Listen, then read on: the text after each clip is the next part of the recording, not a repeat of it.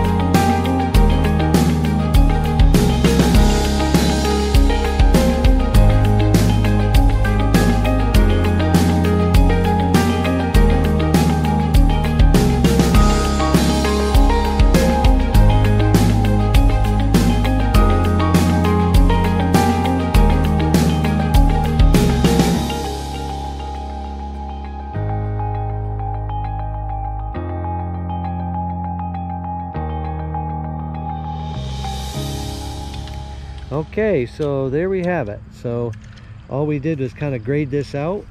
Um, the tricky part was is it was really soft in here, like really, really soft. So um, like over here on this side is super, super soft, but we got it back graded enough where it'll dry out a little bit and then he can take some of that topsoil he has on the other pile and just kind of fill out in there. But I didn't dare run my machine in there because it was just getting too gooey and then the interesting thing is right here, there's a spring just popping right out of the ground. So I managed to not get the machine stuck in there, but we got it brought up to grade and just kind of filled it in. So it is a little spongy, but I think we got it. So if you like what you see, be sure to hit the like and the subscribe button. And uh, this is what an Erskine Rockhound can do in a matter of a couple hours.